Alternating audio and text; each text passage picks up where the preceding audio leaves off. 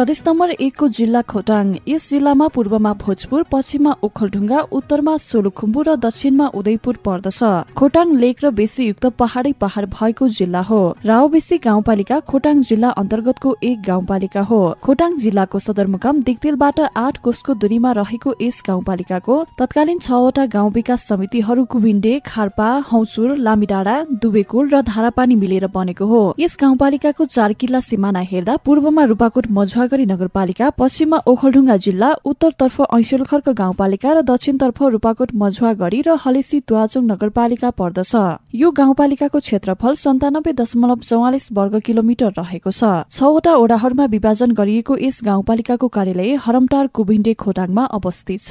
रावाबेसी गाउँपालिका खोटाङको समग्र रेडियो कार्यक्रम सुन्दर रावाबेसी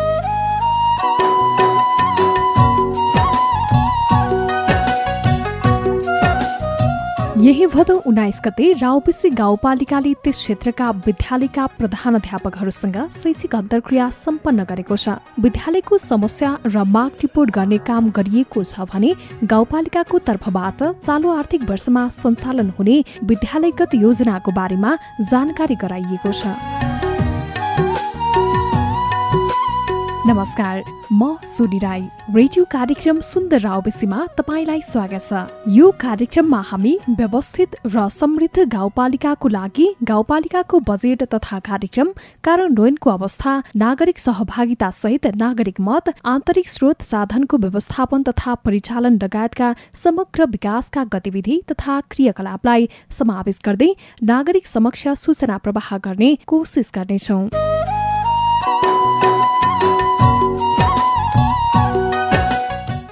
आजको कार्यक्रम राउपेसी गाउँपालिकाको शिक्षा क्षेत्रमा नै केन्द्रित रहनेछ। विभिन्न विद्यालयका प्रधान अध्यापकहरूको कुरा सुन्दै गाउँपालिका अध्यक्ष लीलानाथ निरौलाको भनाइ पनि राख्नेछौ। नेपालको आधा भूभागमा प्रसारण पहुँच। पहाडी भेगको एक मात्र हजार वाट क्षमताको यात्रा। चौबिसै घन्टा लगातार। पचास लाख जनतासम्म प्रत्यक्ष पहुँच। घन्टै पिछेको ताजा खबर। अत्याधुनिक डिजिटल उपकरण। दक्ष रेडियो कर्मी उत्कृष्ट कार्यक्रम। Himal FM ninety point two megahertz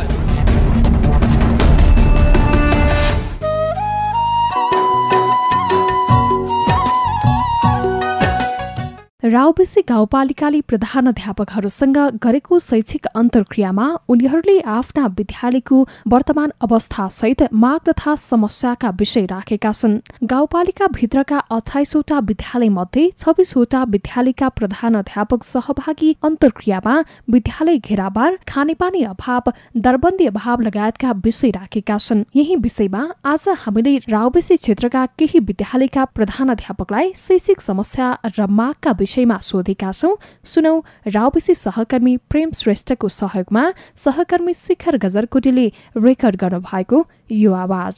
नमस्कार हर्कबहादुर कार्की शारदा मावि हौजुरको प्रधानाध्यापक रावलसी गाउँपालिकाले उन्नाइस गते एउटा प्रहरको भेला सञ्चालन गरेको थियो। प्रहरको भेलामा हामीले हाम्रा समस्याहरूलाई उठान गऱ्यौँ अनि समाधानका उपायहरू पनि केही खोज्यौँ। समय अलिक अभाव भयो।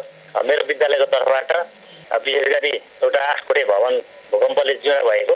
त्यसको चाहिँ अब पुनर्निर्माण गर्नुपर्ने कुरामा प्रस्ताव राखेँ। त्यसै गरी राज्यले अहिले कक्षा बाह्रसम्मलाई माध्यमिक तह मानेको हिसाबले र गाउँपालिकाको जिम्मामै माध्यमिक तह आएको हुनाले एघार बाह्र सञ्चालन भएका विद्यालयहरू जति छन् ती विद्यालयहरूलाई एघार बाह्रसम्म पुर्याउनु पर्ने कुरामा मैले जोड दिएँ। विशेष गरी हाम्रो विद्यालय दस वर्ष मात्रै सञ्चालन भएको छ। त्यसैले नीतिगत रूपमै बाह्र सञ्चालन गरेदेखि हुन्थ्यो भन्ने विषयलाई अगाडि सारियो।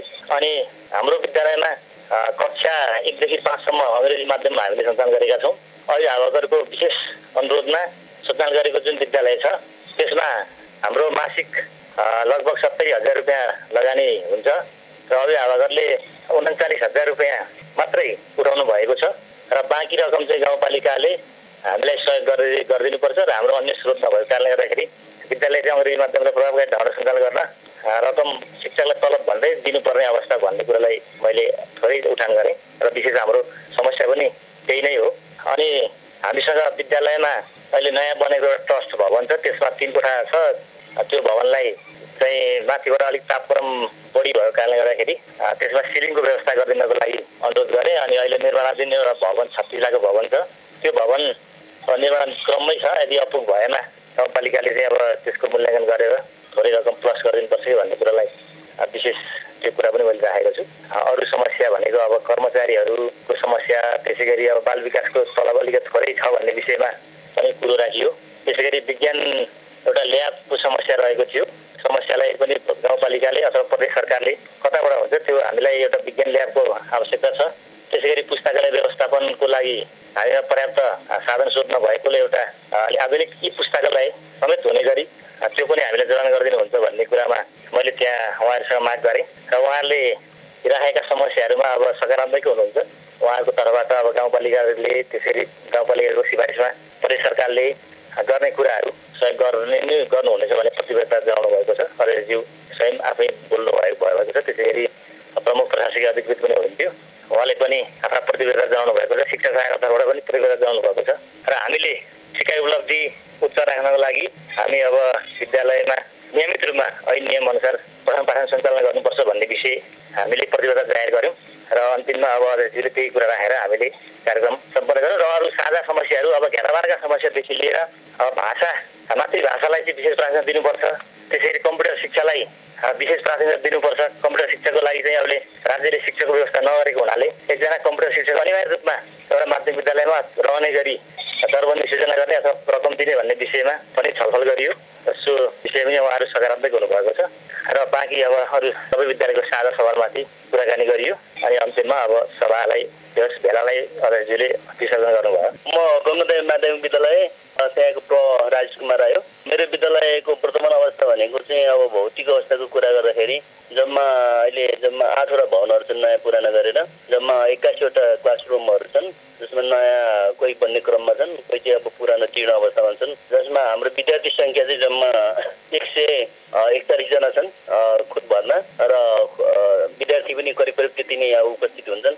र हाम्रो यो शैक्षिक अवस्थाको कुरा गर्दाखेरि चाहिँ हाम्रो सिकाइ उपलब्धि चाहिँ अलिकति न्यून नै रहेको छ अलिकति यसलाई उकास्नु पर्ने अवस्थामा रहेको छ। हाम्रो अनि समग्रमा भन्दाखेरि अब हाम्रो समस्याहरू भनेको चाहिँ विशेष गरेर अहिले घेराबारको समस्या रहेको छ। अलिकति भौतिक सुविधाहरूको संरक्षण गर्नको लागि अलिकति संरक्षण नभएको अवस्थामा तार घेराबारको चाहिँ आवश्यक रहेको छ।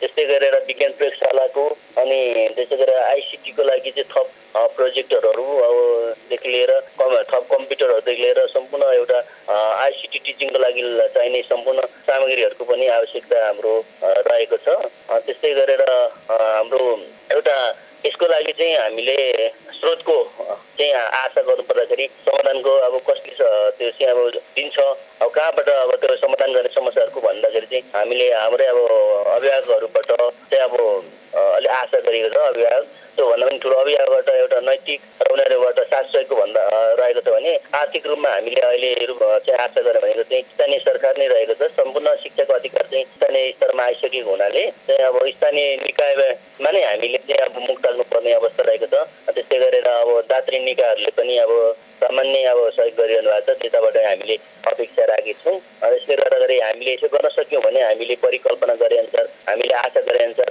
हाम्रो विद्यालय चाहिँ आगामी दिनमा राम्रो हुने थियो भन्ने मेरो अपेक्षा रहेको मेरो नाम गोपाल बस्नेत हो म शारदा नारी खाल्पाको प्रधान अध्यापक हुँ र त्यहाँ विगत चार छु खास गरी तपाईँहरूको विद्यालयको अहिलेको अवस्था कस्तो छ र खास कस्तो कस्तो समस्या छ? के माग राख्नुहुन्छ गाउँपालिका समक्ष? हामीले रावेशी गाउँपालिकासँग केही अपेक्षाहरू पनि राखेका छौँ र अब केही आशाहरू पनि राखेका छौँ र काम पनि गर्दै गइराखेका छौँ। अब यसपालादेखि हामीले यो सिटिभिटीबाट सम्बन्धन लिएर अठार महिने पशु विज्ञान विषयमा कक्षा सञ्चालन गर्दैछौँ भोलिदेखि यो कक्षा सञ्चालन गर्ने योजना बनाएका छौँ। त्यसमा रावेशी गाउँपालिका र वडा नम्बर दुई खारपाले अब यसपाला चाहिँ गौरवको योजना भनेर त्यहाँ चाहिँ बजेट पनि छुट्याएको छ। त्यसको अलावा अब हामीले चाहिँ प्लस टू लाई अब पुस्तकालयको व्यवस्थापन गर्न सफल भएका छौँ जुन प्राविधिक गाउँपालिकाले नै सहयोग गरेको छ। र अहिले भेटनरीको लागि एकदमै प्राविधिक शिक्षा आवश्यकता हो अनिवार्य हो भनेर रावाबेसी गाउँपालिकाले हामीलाई सहयोग गरिराखेको अपेक्षा पनि छ। त्यति हुँदा हुँदै पनि अब केही शिक्षकहरूको अभाव प्राविधिक शिक्षा पढाउने शिक्षकहरूको अभाव अनि हामीसँग अहिले विज्ञान शिक्षकको अभाव भइरहेको छ। त्यो कुरा चाहिँ मैले अध्यक्षज्यूसँग पनि राखिसकेको छु। हामीलाई विज्ञान विषय शिक्षकको व्यवस्थापन गरिदिनुहोस् भनेर। उहाँले हुन्छ म बिस्तारै यो पनि सहयोग गरिदिन्छु भन्नुभएको छ। अनि यस पालादेखि हाम्रो रावेसीमा चाहिँ गाउँपालिकाले अलिक सजिलो पनि बनाएको छ। यहाँ अनुदानमा शिक्षक राख्ने व्यवस्थापन गरेको छ। प्रावि र निमावि चलेको ठाउँलाई एउटा अनि मावि चलेको स्कुलहरूलाई दुईवटा दिएकोले विद्यालय सञ्चालनमा धेरै सहयोग पुगेको हामीले अपेक्षा गरेका छौँ। स्थानीय सरकार भएको नाताले र अन्य ठाउँमा पनि समस्याहरू भएकोले अब शिक्षा क्षेत्रमा अध्यक्षज्यू आफै पनि लागि पर्नु भएको छ। अब हामीलाई थप हौसला सहयोग प्रदान हुने आशा तथा अपेक्षा हामीले राखेका छौँ। र पक्कै पनि उहाँले पनि गर्दै जानु भएकोले अब हामीलाई हुन्छ भन्ने नै त्यहाँ छ। अब मेन रावेशीमा अहिले देखिएको चाहिँ दरबन्दीको समस्या नै हो। शिक्षक व्यवस्थापनको समस्या नै देखिएको छ। र यसमा अब गाउँपालिका पनि सकारात्मक रूपबाट अगाडि बढेको पाइएको छ। त्यसले गर्दाखेरि हामीलाई ठिकै होला भन्ने लागेको छ। र मेरो व्यक्तिगत रूपमा हेर्ने हो भने रावेशी गाउँपालिकाले हाम्रो शारदा मावि लगायत अब आसपासका विद्यालयहरूमा धेरै सहयोग गरेको मैले चाहिँ महसुस गरेको छु। त्यति हुँदा हुँदै पनि अस्ति हाम्रो चाहिँ प्रहरूको मिटिङ गाउँपालिकाले नै राखेको थियो शिक्षा शाखाले राखेको थियो। त्यहाँ चाहिँ अध्यक्षज्यू स्वयं हुनुहुन्थ्यो। त्यहाँ हामीले केही समस्याहरू स्थानीय तहमा देखा परेका समस्याहरू र स्थानीय तहमा उठेका समस्याहरूलाई राख्ने काम गरेका छौँ। अन्तिममा अध्यक्षज्यूले ती कुराहरूलाई म बिस्तारै हल गर्दै जान्छु र अब ती समस्याहरू पनि समाधान गर्दै जाने भन्ने कुरा उहाँले गर्नुभएको छ। विशेष गरेर कतिपय ठाउँमा प्रहरीलाई विद्यालय सञ्चालनमा केही समस्याहरू पनि आइरहेका छन्। अभिभावकहरूलाई अझै सचेत बनाउन सकिएको छैन। केही अन्य सामान्य ढिना मसिना समस्याहरूले सहित रोकेकोले शैक्षिक व्यवस्था सुधार गर्नको लागि अध्यक्षज्यू लगायत हाम्रो प्रहरीले चाहिँ प्रतिबद्धता गरेको कुरा म अवगत गराउन चाहन्छु। रामदेशी गाउँपालिका वार्ड नम्बर तिन स्थित सञ्चालित श्री जनजाति प्राविधिक आधार विद्यालयका प्रहर महेन्द्र कुमार राई यस गाउँपालिका अन्तर्गत चाहिँ अब प्रहरको बैठकमा म त्यहाँ गएर बोलिरहेका थिएँ अब यो विभिन्न विद्यालयको सम्बन्धको बारेमा विद्यालयमा कक्षा एक पाँच सञ्चालन भएको थियो भइरहेको छ र शिक्षक दरबन्दी तिनवटा एक एक सहायक कर्मचारी कार्यालय सहयोगी र एकजना आन्तरिक रूपबाट सञ्चालित आन्तरिक स्रोतबाट जुटाउने शर्तमा एउटा बाँडिके कार्यालय सहयोगी पनि सञ्चालन गरिरहेका छौँ र यस विद्यालयमा वर्तमान अवस्थाको अवस्था ठिकै नै छ र यस विद्यालयको भवनहरू तिनवटा भवन भएको र कम्प्युटर ल्याब रुम पनि व्यवस्था भएको र कम्प्युटरहरू चारवटा जति सञ्चालन भएको तर अहिले चाहिँ अब यो प्राविधिकले यो जाम हुने भएको हुनाले प्राविधिकको अभावले गर्दाखेरि सञ्चालन गर्न सकिरहेको छैन र हामी आन्तरिक स्वरूपमा पनि व्यवस्था गर्न सञ्चालन गर्न नभएकोले कम्प्युटर भइकन पनि हामी अब सानो विद्यालय सानो स्रोत भएको हुनाले कम्प्युटर सञ्चालन सकेका छैनौँ र विद्युत लाइन पनि जोड्न सकिएका छैनौँ पहिला जोडेका थियौँ र धेरै विद्युत प्राधिकरणबाट विद्यालयलाई चर्को महसुल हुने हुनाले अहिले अब अन्य स्रोतबाट चाहिँ एउटा हामी सोलर प्यानलबाट सञ्चालन गर्न खोजिरहेका छौँ र यस विद्यालयमा खानेपानीको धारा छ व्यवस्थित छ कक्ष कोठाहरू भुइँ ढलान छ तर भित्तामा चाहिँ छैन त्यसले गर्दाखेरि बालबालिकाहरूले भित्ता कोतारेर अब चाहिँ अलिकति राम्रो देखिएको छैन। त्यसलाई चाहिँ हामी गाउँपालिकालाई अनुरोध गर्न चाहन्छौँ। भित्तामा चाहिँ प्लास्टर गरियोस् भनेर। र केही आश्वासन पनि हामी हुन्छ भन्ने कुरा गाउँपालिका भइरहेको छ र विद्यार्थी सङ्ख्या बयालिसजना छ र विगतको भन्दा विद्यार्थी सङ्ख्या घट्दो नै कम छ र उत्तीर्ण दर मध्यम स्तरको छ र अब यस विद्यालयले सञ्चालन गर्दै आएकोमा स्थानीय विशेष जोड दिएको छ यो स्थानीय भाषा भने जुन एउटा गाउँपालिका स्थानीय निकाय आइसकेपछि हामी पहिला केन्द्रीय निकाय हुँदाखेरि हामी सञ्चालन सकेका थिएनौँ र अहिले स्थानीय भाषा थुङ भाषा हामी सञ्चालन गरिरहेका छौँ र त्यसको पाठ्यक्रम र पाठ्य पुस्तक सञ्चालन व्यवस्थापन गरिसकेर गाउँपालिकालाई केही अनुदान गरियोस् सहयोग गरियोस् भनेर चाहिँ हामी राहुवासी गाउँपालिकामै स्थानीय भाषा पढाउने साहित्य विद्यालयहरू मध्येमा जनजाति प्राथमिक विद्यालय नै अगाडि भएको हामीलाई महसुस भइरहेको छ र त्यो कुरा चाहिँ हामी गाउँपालिकालाई अनुरोध गर्दाखेरि गाउँपालिका अध्यक्षबाट धेरै विवाद भएको महसुस गरेको छ र हामीलाई के लागेको छ भनेदेखि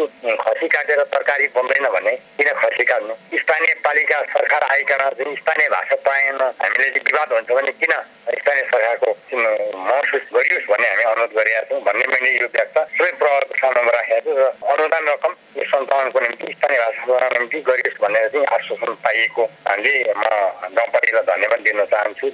सुन्दै हुनुहुन्थ्यो खोटाङको रावसी गाउँपालिका क्षेत्रमा सञ्चालित विद्यालयका प्रधानाध्यापकहरूको कुरा।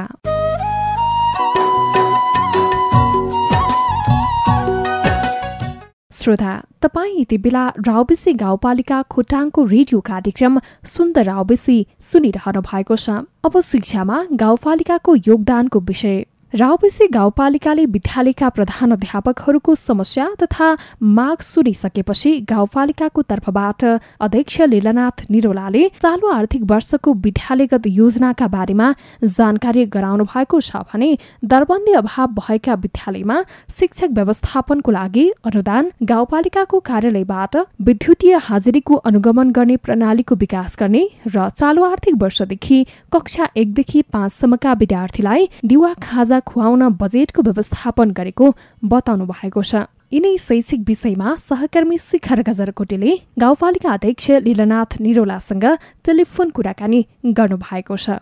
यो राजनीति गाउँपालिकाका अठाइसवटा विद्यालयका प्रहरको भेला भर्खरै सम्पन्न भयो। उहाँहरूका विद्यालयमा परेका समस्याहरूको उहाँहरूले माग गर्नुभएको छ। जस्तै कुनै विद्यालयमा शौचालयको अभाव काहीँ चाहिँ कक्षा कोठाको अभाव काहीँ फर्निचरको अभाव र काहीँ शिक्षकको अभाव भएर उहाँहरूले देखाउनु भएको कुरा यहाँलाई जानकारी गराउँछ भनेको उहाँहरूले के उहाँहरूको समस्या गाउँपालिकाले पुरा गर्ने सक्ने अवस्था छ अथवा के गर्छ अब? केही हदसम्म गाउँपालिकाले समस्या गर्ने कुरा गाउँपालिकाबाट हामीले टिपोट गरेका केही माग सम्बोधन हुनेछन् र केही आगामी दिनमा पनि सम्बोधन गर्ने कुरा उहाँलाई आश्वासन दिएको छ र केही प्रदेश केही केन्द्र सरकारसँग माग गर्नु माग गर्ने पर्ने समेत योजनाहरू भएकोले यो आगामी दिन आगामी वर्षसम्म चाहिँ यो योजनाहरू उहाँहरूसँग उहाँहरूले मागेका योजनाहरू हामी गाउँपालिकाको तर्फबाट प्रदेश सरकारबाट र केन्द्र सरकारबाट पुरा गर्न सकिन्छ भन्ने खालका उहाँहरूका माग छन् र अर्को वर्षसम्म उहाँहरूका मागहरू केही क्षणसम्म सबै शत प्रतिशत त होइन उहाँहरूको अधिकांश माग त पुरा गर्न नसकिने मागहरू पनि छन् र केही हदसम्म चाहिँ पुरा गर्न सकिने हामीले गाउँपालिकाबाट आश्वासन दिएका छौँ र उहाँहरू त्यही अनुरूप त्यहाँबाट निक्लिनु भएको छ कतिपयले चाहिँ विद्यालय घेराबारको कुरा उठाउनु भएछ कतिपयले शिक्षक दरबन्दी कुरा उठाउनु भएछ कतिपयले अहिले पनि अभिभावकले पैसा उठाएर शिक्षकलाई दिनुपर्छ भन्ने कुरा पनि ल्याउनु भएछ। यो त अब स्थानीय सरकारले गर्न सक्ने कुरा पनि हुन् कि? केही कुरा यहाँले उठाएका कुरा वास्तविक हुन् उहाँले उठाएका कुराहरू यिनै मध्ये तिनै मध्ये पनि पर्छन्। र निजी स्रोतमा चलेका विद्यालयहरू र देउसी भैलो खेलेर शिक्षकलाई तल भत्ता खुवाएका विद्यालयहरू पनि हाम्रो अनुगमनले पनि देखायो र उहाँहरूका माग पनि त्यही अनुसार भयो। हामीले निजी स्रोतमा चलेका माविहरूलाई अहिले पैसा दिन सकिएन। गाउँपालिकाबाट मासिक रूपमा चौबिस हजारका दरले मावि तहमा र दस हजारका दरले आधारभूत तहमा शिक्षकको व्यवस्थापन गर्ने स्वयंसेवकको व्यवस्थापन गर्ने उहाँहरू यही वर्ष पैसा छुट्याएका छौँ र यो वर्षदेखि नै उहाँहरूका समस्याहरूलाई केही हदसम्म समाधान हुने कुरा यहाँलाई जानकारी गराउँछौँ। दिवा खाजा पनि सुरुवात गर्दै हुनुहुन्छ भन्ने सुन्यौँ हामीले यो वर्षदेखि। कक्षा एकदेखि पाँचसम्मका विद्यार्थीहरूलाई यो सबै विद्यालयमा लागू हुन्छ कि होइन? केही विद्यालयमा मात्रै लागू गर्ने यो वर्ष? अब यो हामी अलिक अठाइसवटा विद्यालयमा हामी यो लागू गर्छौँ। केही हामी अनुगमनमा जाँदाखेरि विद्यार्थीहरू चाहिँ कक्षा एकदेखि पाँचसम्मका विद्यार्थीहरू चाहिँ एक बजेसम्म मात्रै विद्यालय रहने र त्यसपछि विद्यालयमा विद्यालय छोड्ने प्रथालाई किन यसो भएको होला? भएर हामीले सम्बन्धित विद्यालयका विद्यालय व्यवस्थापन समितिका अध्यक्ष अभिभावक सङ्घका पदाधिकारीहरू अभिभावकहरूसँग छलफल गर्दाखेरि अभिभावकहरू चाहिँ बिहान मेलामा जाने र खाना बनाउन नभ्याउने र बच्चा बच्ची चाहिँ भोकै आउने र खाना खाने बाहनामा विद्यालय छाडेर घरमा जाने र घर गइसकेपछि नआउने भन्ने धेरै शिक्षकहरूको अभिभावकहरूको गुनासो भयो। त्यसलाई मध्यनजर गर्दै हामीले दिवा खाजाको व्यवस्था गरेका छौँ। एकदेखि पाँचसम्मका बालबालिका विद्यार्थी भाइ बहिनीलाई खाजाको व्यवस्था गरेका छौँ। र अहिले अठाइसवटा विद्यालयमा हामी यो सुरु चरणमा हामी अठाइसवटा विद्यालयमा लगाउँछौँ र यसलाई फेरि आगामी दिनमा अहिले परीक्षण कालका रूपमा हामीले यसलाई हेरेका छौँ। आगामी वर्ष त्यति त प्राप्त त छैन तर पनि हामी एक वर्षसम्म पुग्ने गरी आगामी वर्ष यसलाई प्रभावकारी भयो भने र अभिभावकहरूको र विद्यार्थीहरूको त्यस्तो चाहना बढ्दै गयो र विद्यालय छान्ने बालबालिकाहरू र कक्षा एक बजेदेखि बजेदेखि एक बजेसम्म मात्रै विद्यालय आउने बालबालिकाहरूलाई चार बजेसम्म टिकाउनका लागि हामीले यो अभियान सुरु गरेका सुरु गरेका छौँ। अब हाम्रो अनुगमनले पछिल्लो चरणमा चाहिँ विद्यार्थीहरू बजे चार बजेसम्म बस्ने परिपाटी भयो भने यसलाई हामी निरन्तरता दिन्छौँ र यसलाई बढाउने कुरामा हामी जनप्रतिनिधिहरू लाग्ने कुरा चाहिँ यहाँलाई जानकारी गरायौँ। तपाईँहरूले शैक्षिक क्यालेन्डर पनि लागू गर्नु भएको छ। त्यसको कार्यान्वयन पाटो चाहिँ कस्तो पाउनु भएको छ? अथवा उनीहरूले प्रहरूले कस्तो अनुभव तपाईँहरूलाई सुनाए त्यो भेलामा चाहिँ? शैक्षिक क्यालेन्डर बनेको उहाँहरूकै हामीले मात्रै जन हामी जनप्रतिनिधिले गाउँपालिकाबाट मात्रै यो कुरा शैक्षिक क्यालेन्डर बनाएको होइन र शिक्षक प्रतिनिधिकै रूपमा उहाँहरूलाई नै उभ्याएर यो शैक्षिक क्यालेन्डर निर्माण गर्नका लागि जिम्मा दिएका थियौँ र उहाँहरूकै अनुकूलतामा कहिले कुन कुन समय बिदा गर्ने अनि कुन कुन अब जस्तै असार साउनमा बर्खे बिदा हुन्छ बर्खे बिदा कुन मितिमा गर्दा उपयुक्त होला कुन विद्यालय कुन मितिमा विद्यालय लाग्दा सुरु होला सुरु गर्दा राम्रो होला अनि दसैँ र तिहारको बिचमा गर्नु मिल्ने ताराका सरहरू हुन्छन् त्यसरी दसैँ र तिहारको बिच बिदा नलाउँ भन्ने उहाँहरूकै सल्लाह अनुरूप हामीले यो क्यालेन्डर निर्माण गऱ्यौँ। र क्यालेन्डरमा एकरूपता नभएकाले त्यसलाई पनि हामीले उहाँहरूले पनि त्यस कुराको चाहिँ एकरूपता छैन र काहीँ पन्ध्र गते विद्यालय लाग्छ भने काहीँ अठार गते लागिरहेको काहीँ बिस गते लागिरहेको कुनै दिन चाहिँ कुनै विद्यालय लागिरहेको र कुनै विद्यालय एउटै गाउँपालिकाभित्र अठाइसवटा विद्यालय मध्येमै कुनै विद्यालय बन्द गरेको अवस्था हामीले देख्यौँ हाम्रो अनुभवले देखियो। त्यस अर्थले त्यस हेर्दा नै त्यस कुरा पनि सरहरूलाई सचेत गराउनका लागि यो हामीले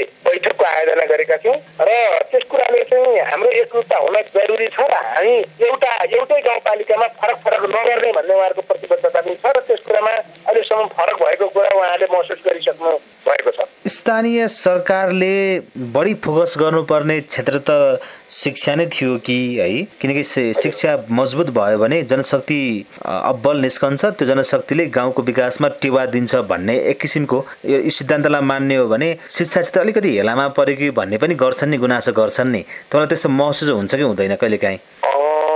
यो अन्य अन्य स्थानीय तहमध्ये अन्य स्थानीय तहको कुरा मैले यहाँलाई जानकारी गराउँदिनँ। मेरो स्थानीय तहको आदिवासी गाउँपालिकाको स्थानीय तहबाट भए गरेका कामहरूमा त्यस्तो अहिले प्रमुख हाम्रो लगानी प्रमुख दायित्व र प्रमुख हामी धेरै लगानी लागिरहेको धेरै हामी खटेको चाहिँ शिक्षा क्षेत्रमै पहिलो प्राथमिकता हामीले शिक्षालाई दिएका छौँ केही न केही मानेमा बालबालिकाको स्तर उकास्यो जीवन स्तर उकास्यो र बालबालिकालाई यो शैक्षिक प्रगति गराउने कुरामा विद्यालय विद्यालय लाग्यो भने सम्बन्धित विद्यालयका विद्यालय व्यवस्थापन समितिसँग हामी बारम्बार उहाँहरूलाई भेटघाट गर्ने कार्यक्रम गरेका छौँ बैठक गरेका छौँ तालिम दिएका छौँ। विद्यार्थी किन विद्यालय आउँदैनन्? किन विद्यालय छोड्छन् किन समयमा भर्ना हुँदैनन्? किन विद्यालयमा फलानु फलानु विषयको प्रगति हुँदैन?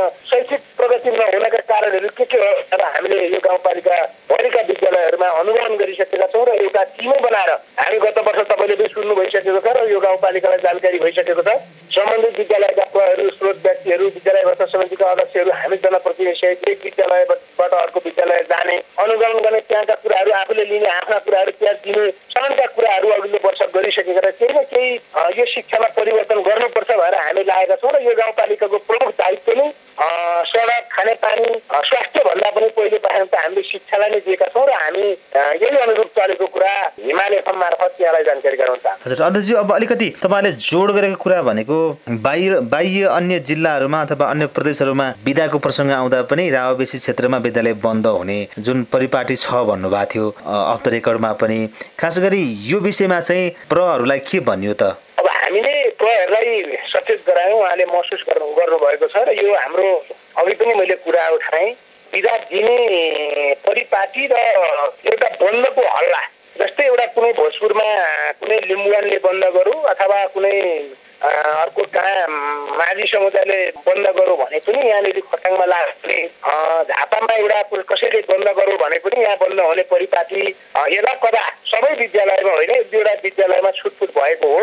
र आगामी दिनमा सम्बन्धित वडाको फिडर मावि भन्छौँ हामी। अब प्राविहरूले निभावी निभावीलाई सोध्ने निभावीले माविलाई सोध्ने। अनि माविले पनि केही त्यस्तो समस्या पऱ्यो भने गाउँपालिकाको शिक्षा समिति र अन्य निकायबाट सोधेर बिदा गर्न मिल्ने कि नमिल्ने भनेर चाहिँ बिदा दिने र यसलाई गर्ने भन्ने कुरो उहाँहरूको निर्णय पनि हामीले त्यही लेख्यौँ र उहाँहरू त्यसैमा सहमत हुनुभएको छ र त्यसरी हङ्गामा अन्त बिदा हुँदैमा यो गाउँपालिकाको कुनै पनि विद्यालय अब बिदा नगर्ने र बन्द नगर्ने भन्ने कुरा उहाँ बैठकको निर्णय समेत उहाँले प्रतिबद्धता जाहेर गर्नुभएको छ र हामीले पनि त्यही गाउँपालिका तर्फबाट त्यही निर्देशन गरेका छौँ र उहाँहरू अहिले यो एक हदसम्म उहाँहरू सहमत भएर यो यस बैठकबाट पाइदिनु भएको छ अब अन्तिममा यो वर्ष शिक्षा क्षेत्रमा के गर्दै हुनुहुन्छ? तपाईँले तपाईँ आफै पनि हुनुहुन्छ कार्यक्रम डिजाइनमा हाम्रो एक कक्षादेखि पाँच कक्षासम्मको विद्यार्थीहरूलाई खाजाको व्यवस्था गरेको छ सबै एउटा विद्यालयमा यी हाजिरी प्रदान गर्ने कुरा पनि हामीले यो वर्ष छुट्याएका छौँ र यो वर्ष प्रावित तहमा रहेका विद्यालयहरूमा खानेपानीको व्यवस्थापन गरिदिने र सबै विद्यालयहरूमा हिलटेकको व्यवस्था गरिदिने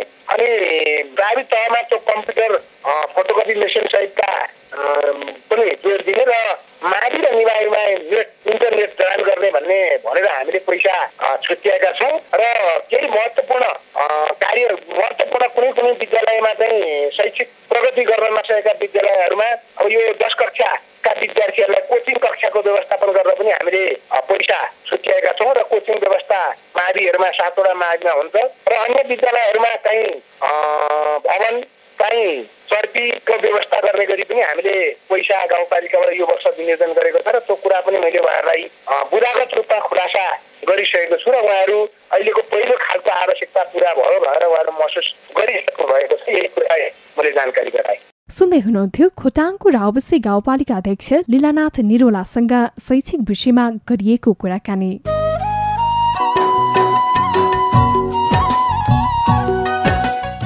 आजका लागि कार्यक्रम सुन्दर आवश्य यति नै कार्यक्रममा समावेश विषयमाथि केही प्रश्न भए राख्न सक्नुहुनेछ।